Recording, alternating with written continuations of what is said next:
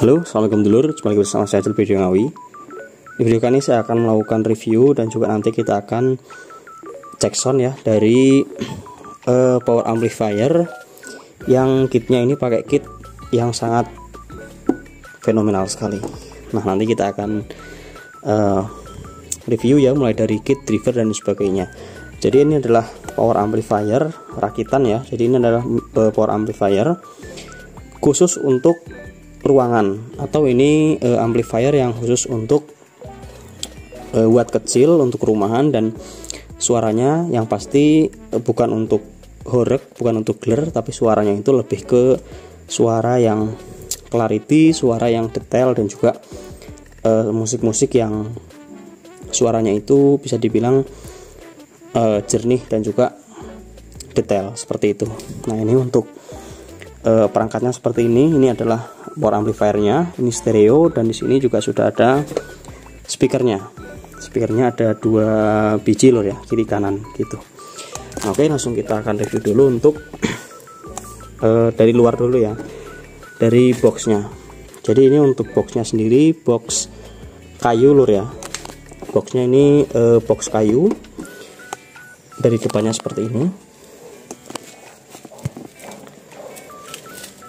Nah ini untuk bagian depannya di sini eh, di bagian kiri kanannya ini ada kipasnya. Cuma ini untuk kipasnya tidak tidak jadi saya gunakan karena apa? Karena terlalu berisik lur, terlalu berisik jadi mengganggu ketika kita sedang mendengarkan musik gitu. Jadi ini eh, ya nggak saya copot juga, saya biarkan seperti hiasan gini, nggak saya pakai kipasnya kiri kanan. Lalu di depan sini tadinya mau saya pasang uh, modul Bluetooth ya. Coba nggak jadi. Dan di sini ada untuk bagian inputnya. Ada jack ya kiri kanan ini. Lalu di sini juga ada potensionya. Ini potensio untuk mengatur volume master volume dari eh, masing-masing uh, kit drivernya. Karena ini stereo jadi ada dua ya. Jadi untuk uh, potensionya saya buat sendiri-sendiri. Uh, nggak saya gabung pakai satu potensio yang stereo. Jadi potensionya mono-mono seperti ini supaya bisa diatur untuk volumenya yang kiri dan yang kanan gitu. Seperti ini dan yang tengah ini adalah untuk on off nya saklar on off ya. Seperti itu untuk bagian depan. Kalau untuk bagian belakangnya juga ya sama sih standar dulu ya. Jadi cuma ada jack untuk AC untuk kabel AC lalu ada e, binding pos seperti ini. Dan ini untuk input tadinya cuma nggak jadi. Saya taruh di depan seperti ini.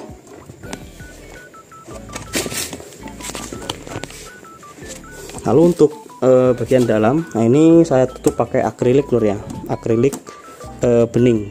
Supaya enggak supaya bisa kelihatan gitu supaya lebih estetik dan juga supaya enggak enggak kotor nah ini kita buka aja. Nah seperti ini lor untuk dalemannya ya. Jadi ini untuk uh, kitnya. Ini kitnya saya menggunakan kit emprit amplifier. Ini adalah uh, rancangan dari Pak Anis tadi sudikan ya. Dulu-dulu yang mungkin nanti mau uh, skematiknya saya taruh di deskripsi video dan kalau misalkan pengen PCB nya saya sudah uh, taruh link di sini di pojok kiri bawah jadi ini untuk kitnya saya ngerakit sendiri lur ya. Jadi beli PCB nya saja terus kitnya rakit sendiri seperti ini. Ini Prit Power Amplifier. Jadi ini adalah uh, kit kecil buatnya kelas AB tapi untuk suaranya ini di atas rata-rata kit tokoan lur ya.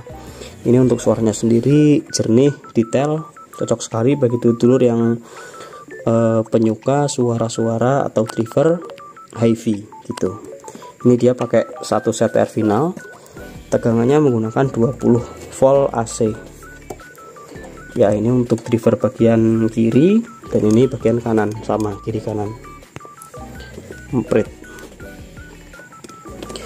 Dan ini untuk hedgingnya saya gunakan hedging 20 cm tebalnya 6 mili ya. Soalnya ini enggak pakai kipas jadi harus pakai hedging yang tebal supaya ada enggak enggak overheat seperti itu. Ini nah lalu di sini untuk trafo saya gunakan trafo 10 ampere kecil ya. 10 ampere kecil tegangannya di 20 volt. Nah ini kenapa trafonya saya balik seperti ini?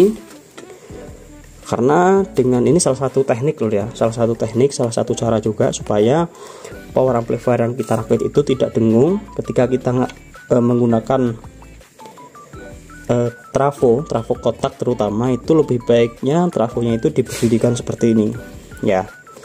Supaya ini e, mengurangi dengung lor di samping e, kabelnya juga harus rapi harus e, dan sebagainya trafo juga berpengaruh gitu. Kalau pakai trafo kotak lebih baik diberdirikan seperti ini. Kalau trafo donat itu nggak perlu. Tapi kalau trafo kotak lebih baik diberdirikan seperti ini. Nah ini lalu untuk power supply ini saya menggunakan power supply dari uh, eh, CM Rod Elliot ya. Ini juga salah satu uh, bisa dibilang power supply yang beda dari power supply yang biasanya gitu. Cuma ini power supply-nya diperuntukkan untuk tegangan rendah saja.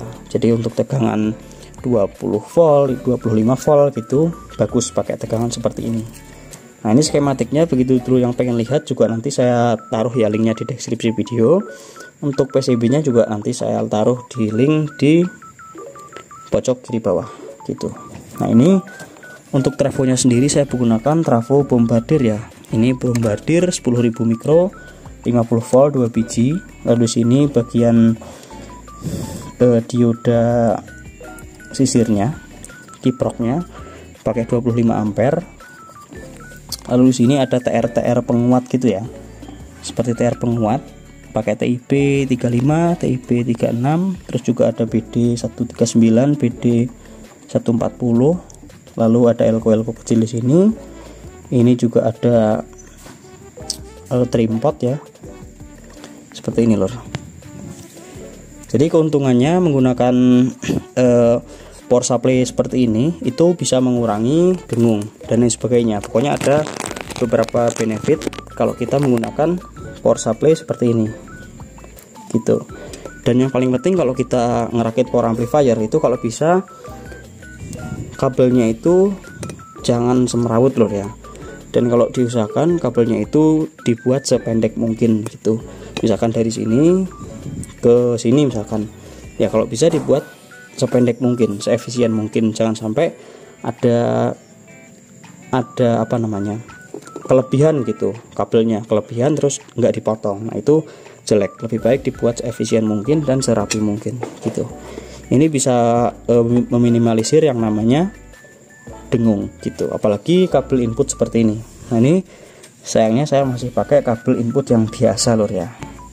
Kabel yang ya masih murah gitu. Nah, nanti kalau upgrade mungkin saya akan ganti pakai kabel yang lebih baik. Seperti ini lor ya. Nah ini untuk bagian dalamnya untuk bagian uh, power amplifier. Selanjutnya kita akan review untuk speakernya. Nah ini untuk speaker saya pakai untuk uh, twitternya saya gunakan twitter ACR ya. Kalau nggak salah ini ACR 702 lor ya. ACR lalu juga ini untuk speaker yang bawah ini speaker woofer lor ya. Jadi kalau kita uh, main speaker 2W ini kan 2W lor ya. Jadi ini woofer sama twitter nah ini kalau kita pakai 2W seperti ini itu diusahakan speakernya itu yang bawah pakai yang woofer. Supaya nanti ada suara bassnya. Gitu jangan pakai yang full range. Yang bawah ini jangan pakai yang full range. Kalau di sini yang bawah full range lalu yang atasnya Twitter itu nanti nggak akan ketemu suaranya. Nada bassnya kurang berbobot gitu. Jadi ini saya yang bawah pakai uh, full range. Ini pakai speaker jig pakai speaker jig yang 4 in lalu yang atasnya ini ACR Twitter seperti itu. Jadi ini 4 pin plus Twitter. Dan di dalamnya ini sudah saya eh, pasangkan yang namanya crossover pasif itu jadi yang kiri juga sama yang kanan ya sama speknya sama jadi ini seperangkat power amplifier untuk perumahan atau untuk di kamar Oke, kita akan coba tes seperti apa untuk suaranya. Coba tes. Ini untuk input inputnya saya pakai Bluetooth speaker ya. Bluetooth speaker langsung ke HP, jadi nggak pakai aksesoris seperti tune control, equalizer atau lain sebagainya. Oke, kita play. Do that to me one more time.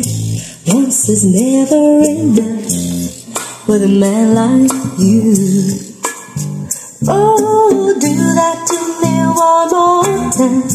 I can never get enough of a man like you. Oh, kiss me like you just did. Baby, do that to me once again. Mm-hmm.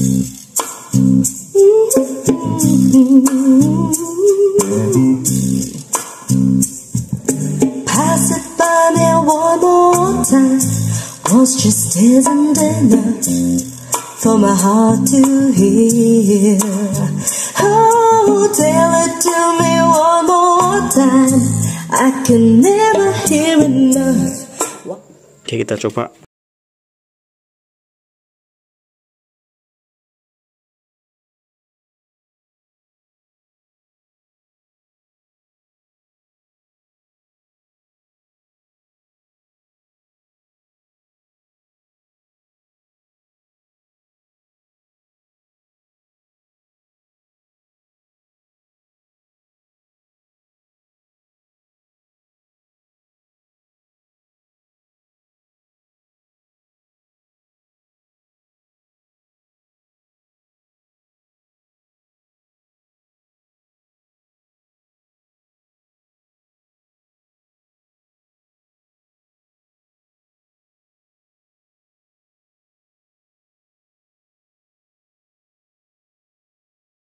untuk kendangan koplo lor ya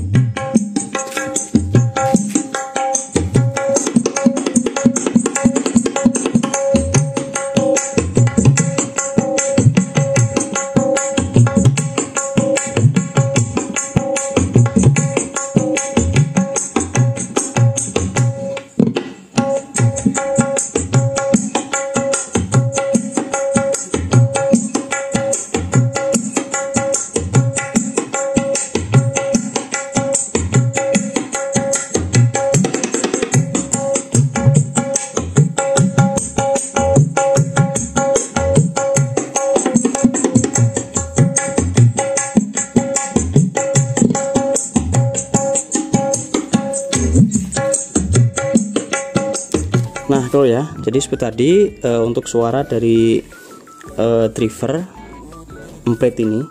Jadi untuk suara mid dan suara high-nya itu yang saya rasakan bagus sekali ya, sangat detail, sangat uh, jernih gitu. Tapi untuk suara low-nya bisa dibilang kurang ya. Jadi kalau untuk uh, mendengarkan musik-musik yang instrumen yang uh, mencari kedetailan suara atau lebih suka dengan suara yang detail itu bagus pakai Embrit tapi kalau untuk cari yang suara yang clear yang horek nggak akan cocok. Terutama uh, ketika tadi saya tes pakai suara koplo ya pakai kendangan yang terakhir tadi saya rasa sih kurang ya gitu. Jadi ya karena mungkin untuk nada low nya kurang Embrit ini. Jadi lebih bagusnya di nada mid dan high nya itu bagus sekali gitu Nah kilo ya. Mungkin saja untuk video kita kali ini. Ini juga saya belum dengar dengarkan secara keseluruhan ya. Mungkin nanti untuk di, di video selanjutnya kita akan uh, lebih mengeksplor lagi ya untuk genre-genre musik yang lain. Mungkin nanti bisa lebih di